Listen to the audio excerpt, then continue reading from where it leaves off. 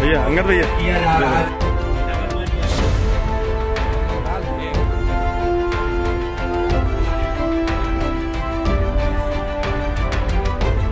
संस्था का are N जनकला trust है और हम सब विगत चार वर्षों से रजाई वितरण का प्रोग्राम करते हैं। हम लोग पिछली जनवरी को भी स्वेटर वितरण का प्रोग्राम किए थे जिसमें हम लोग 500 लोगों को स्वेटर दिए थे। इस बार हम लोग 800 लोगों को कम से कम देंगे, रजाई और कंबल मिला के, जिसमें से 101 लोग रिटायर्ड सैनिक और अध्यापक हैं जिन्हें हमको सम्मानित भी करना है। कार्यक्रम यहाँ पर रजाई वितरण समारोह है और एक हज़ार एक रजाई बट रही है आज प्रांगण में, और तिवारी जी ने बहुत बढ़िया कार्यक्रम रखा है और परम पूज्य संत श्री अरगानंद महाराज की रचित यथार्थ गीता का वितरण हो रहा है, भजन किसका करें उसका वितरण हो रहा है। और कड़ाके की ठंड में यहाँ पर ये भानुकर जी ने दूसरी बार प्रोग्राम किया है।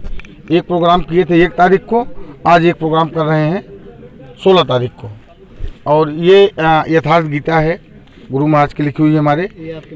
ये हमारे माध्यम से 500 गीता बट रही है। सच्चाई वही जो हम बताएँ।